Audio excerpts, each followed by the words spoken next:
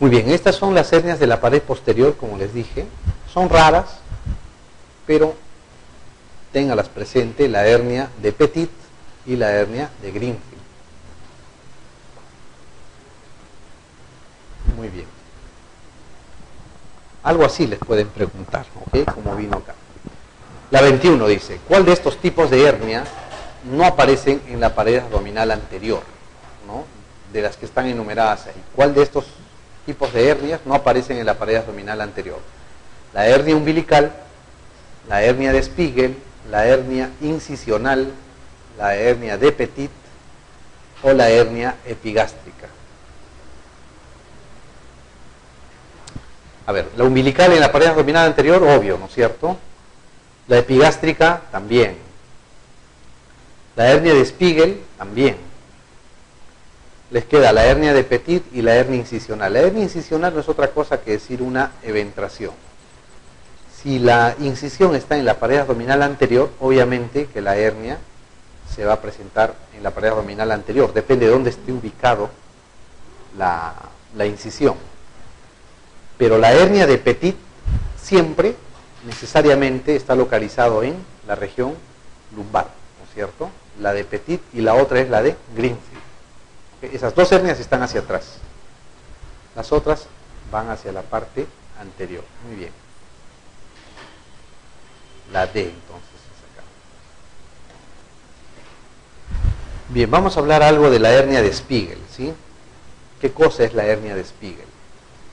La hernia de Spiegel es una hernia, no es una hernia frecuente, es una hernia un poco rara, pero se va a presentar en la línea semilunar. La línea semilunar es esta que está acá. El límite de inserción de los músculos anchos del abdomen, los músculos son el oblicuo mayor, el oblicuo menor y el transverso, ¿no? Esos tres. ¿Qué van a pasar de ser músculos a ser aponeurosis para envolver al músculo recto anterior mayor de la zona. ¿Ok? Esa línea se llama la línea semilunar. Por esta línea semilunar van a protruir las hernias de Spiegel. ¿Qué más deben saber? Hay acá en la formación ah, de este estuche de los rectos, de estas aponeurosis acá, en la parte anterior,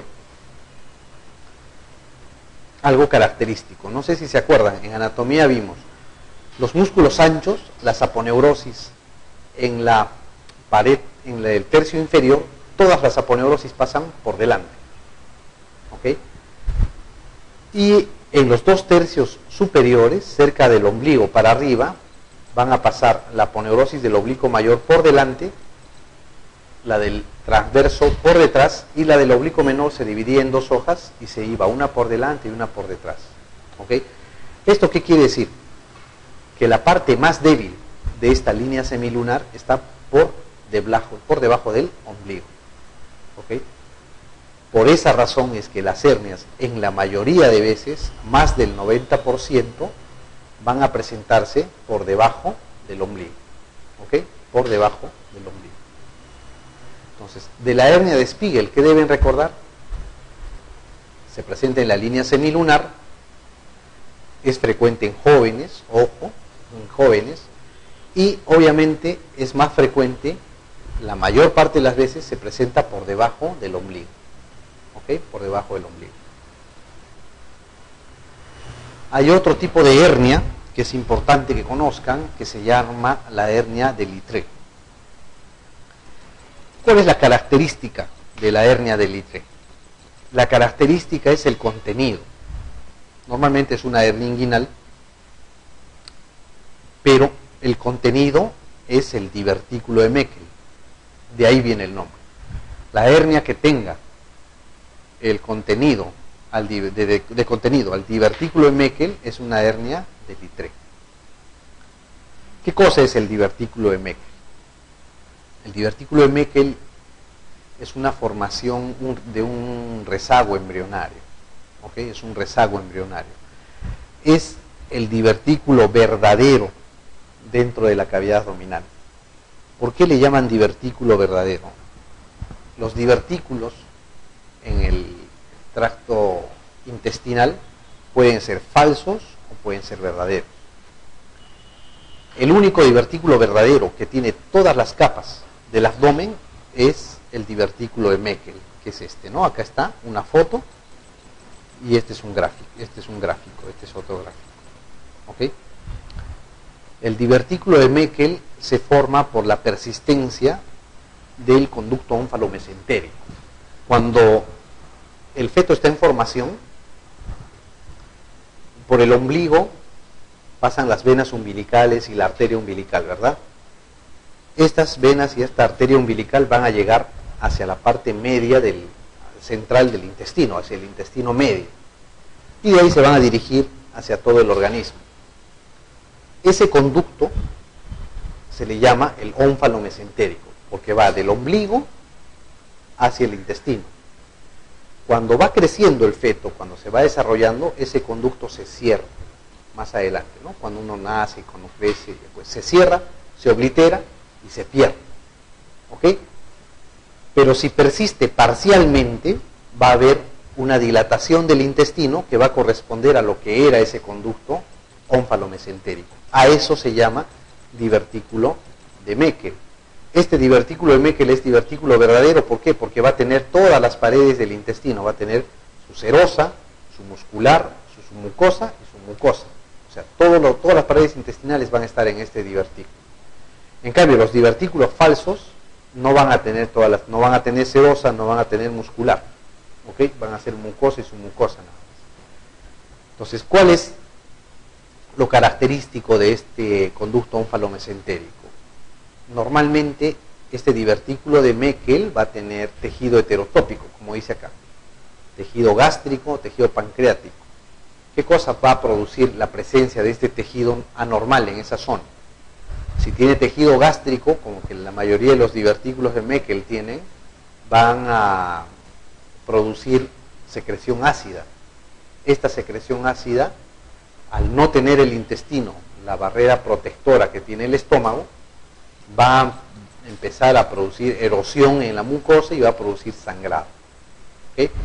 Y va a producir hemorragias. Puede producir perforación. Además, puede producir también intususcepción, o sea, que esta parte, que el divertículo se empiece a meter dentro del intestino. A eso se llama intususcepción. O puede producir hernias internas.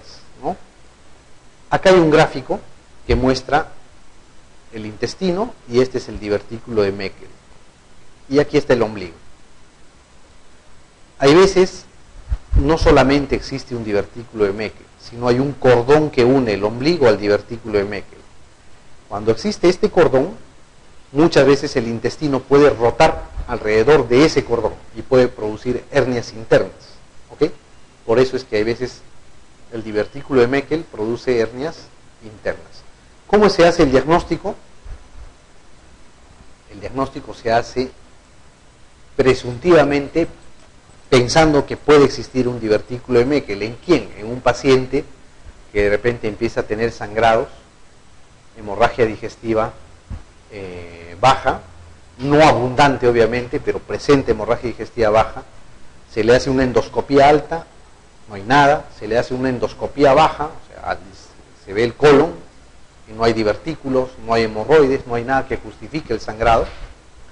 Por ende, lo que hay que pensar en ese paciente es que tenga un divertículo de Meckel. Entonces, a esos pacientes se les debe hacer una gamografía, marcada con tecnesio 99, ¿no? lóbulos rojos marcados con tecnesio 99. Normalmente va a captar el divertículo de Meckel esos, ah, esa sustancia radioactiva y se va a dibujar en la camografía.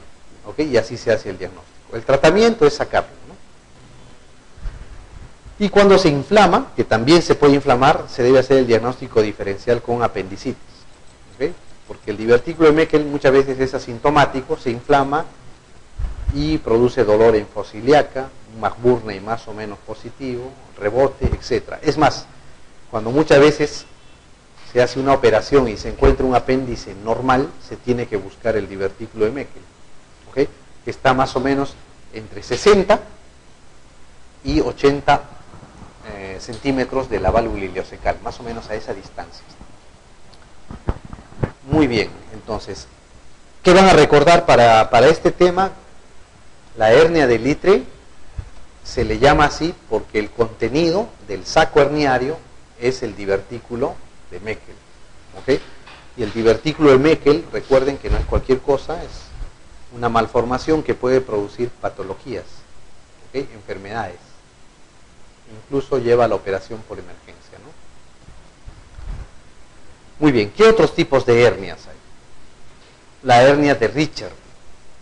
La hernia de Richard no es otra cosa que la estrangulación del borde antimesentérico del intestino.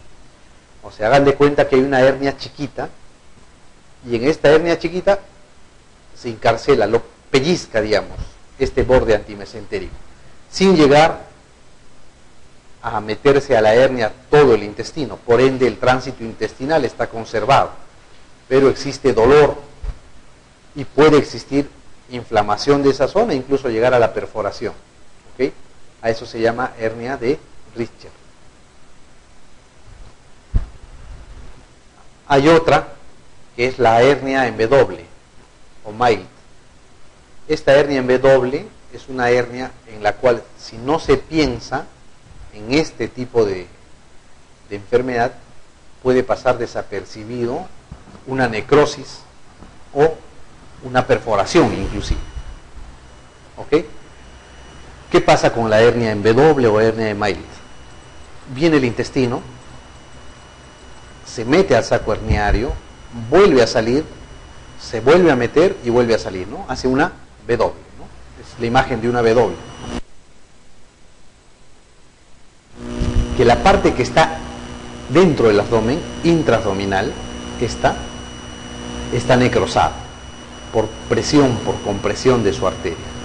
Entonces, cuando uno opera, normalmente abre el saco herniario y lo que va a encontrar son estas asas intestinales que están viables.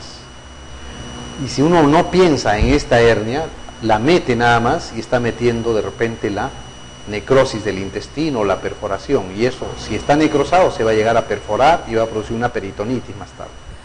Entonces, cuando existe la posibilidad o la presencia de esta hernia en W, lo que hay que hacer es, se abre el anillo cuando uno opera y se saca todo el contenido intestinal, se observa bien que no haya ninguna necrosis y recién se mete. Por eso podrían preguntarles esto, ¿no? La hernia en W o la hernia de May. ¿Por qué es importante esta? Porque puede producir eh, perforaciones o necrosis intestinales no advertidas. Por eso es importante que conozcan. La otra hernia que deben conocer es la hernia de Amyad. Esta hernia de Amyad es una hernia en la cual van a encontrar el apéndice inflamado. Cuando existe una apendicitis, que lamentablemente esta apendicitis se mete al saco herniario, esta hernia se le llama de Amyad. La hernia es rarísima, pero puede presentarse. La que han preguntado antes es esta, señores, la, doctores, la hernia de litre. Acuérdense de esa hernia. La hernia de litre, acuérdense, el contenido es el divertículo de Meckel. Muy bien. Ok, vamos a contestar la pregunta, ¿ya? dice, el contenido ¿eh? de una hernia de litre es el divertículo de Meckel, la vejiga, el ileón terminal, el cono sigmoides o el apéndice secal. ¿Cuál es?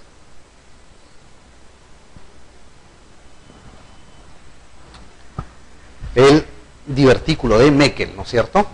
Muy bien. Si encontraran vejiga, estarían hablando de una hernia deslizada, normalmente de una hernia por deslizamiento, cuando se encuentra la vejiga.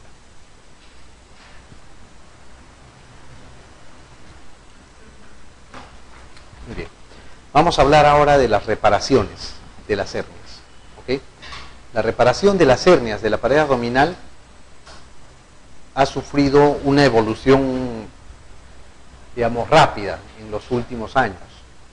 Por mucho tiempo se hacía la reparación mm, usando las estructuras mismas anatómicas del, paciente y suturando los orificios que estaban abiertos. En esos casos, al suturar y al cerrar esos orificios se producía tensión. Entonces, por esa, por esa razón, hay reparaciones que usan la tensión para cerrar los orificios y hay otras reparaciones que son libres de tensión.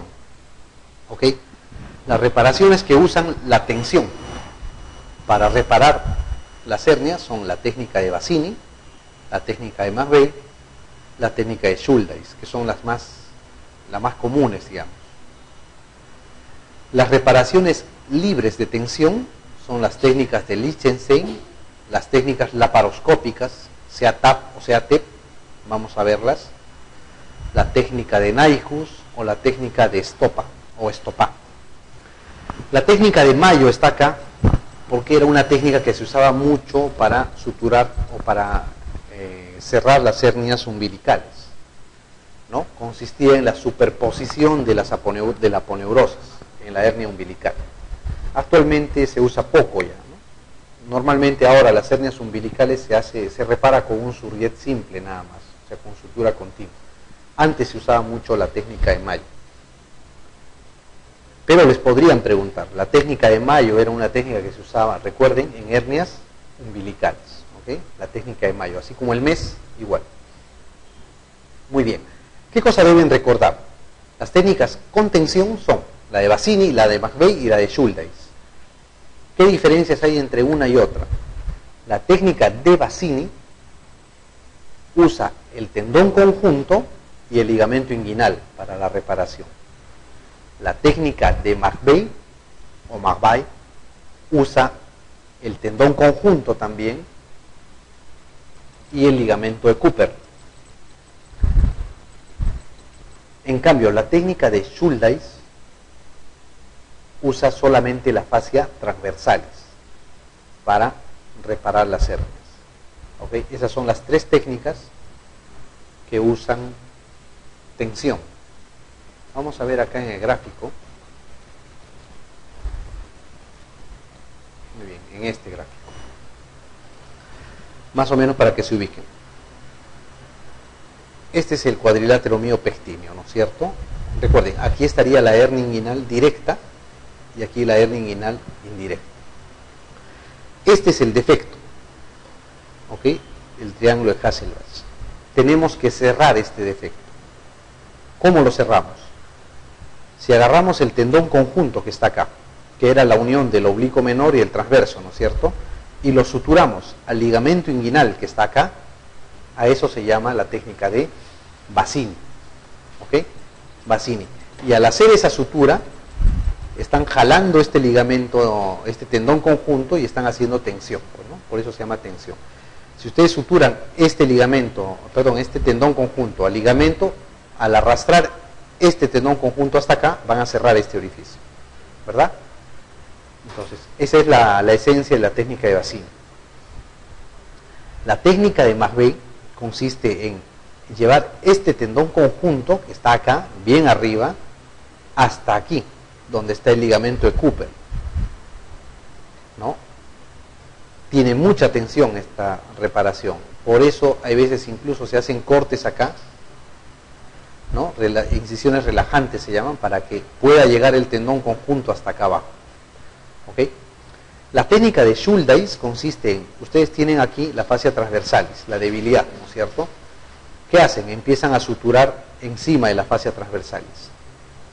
Vuelven a regresar y van cerrando en la fascia transversalis. Vuelven a bajar, vuelven a subir, ¿no? Dos o tres veces. A eso se llama la técnica de Schuldeis. La técnica de Schuldeis es una técnica especial que usa un instituto que se llama así, el Schuldeis, que está en Norteamérica, donde esta técnica ha tenido, eh, han reportado que tiene mucho éxito, que no se ha replicado en, en otros lados. ¿ok? Entonces, recuerden, Bassini usa el tendón conjunto al ligamento inguinal, la McVeigh el tendón conjunto al ligamento de Cooper. La de Schuldeis solamente usa la fascia transversalis, ¿no? Sutura fascia transversalis una y otra y otra y otra vez hasta cerrar el defecto. Después vienen las, las técnicas libres de tensión, o sea, donde no van a estar eh, haciendo tensión sobre los tejidos. La más usada es la técnica de Lichtenstein. Esta técnica de Lichtenstein consiste en colocar una malla cubriendo el defecto aponeurótico. ¿Ok? Agarran y en, el, en vez de arrastrar el tendón conjunto hasta el ligamento inguinal, colocan una malla, suturan al ligamento inguinal y esta malla la suben hasta el tendón conjunto. ¿Ok? Vamos a ver ahí un, un videíto de esto. Las otras son las técnicas laparoscópicas. Cuando se técnicas laparoscópicas se usa la visión posterior, ¿se acuerdan la primera que vimos? Donde estaba el triángulo del dolor, el triángulo de Dunn. Se mete por dentro, por detrás de las hernias y se pone una malla. Es como cuando ustedes parchan la cámara, digamos, de un, automóvil. Ponen la parcha, el parche o la malla por fuera, la presión puede hacer que se mueva, que, se, que salga. Pero cuando la ponen por dentro, la presión intraabdominal pega la malla más todavía hacia el defecto. ¿Ok? Esa es la esencia de las técnicas laparoscópicas. La técnica de Naihus es una técnica parecida a las técnicas laparoscópicas. No se usa la laparoscopía acá, pero se, uno se mete al espacio preperitoneal y va a poner la malla por detrás de las hernias también. Esa es la técnica de Naihus. ¿no? Es una malla preperitoneal. Acuérdense o anótenlo. La técnica de Naihus usa una malla preperitoneal. La diferencia de la técnica de Naihus con la técnica de estopa o estopa es que en la técnica de estopa es, se coloca una malla preperitoneal también, pero es una malla gigante. Se usa en hernias recidivadas cuatro o cinco veces, donde ya no hay mucho tejido, entonces se pone una malla gigante en toda la región pélvica.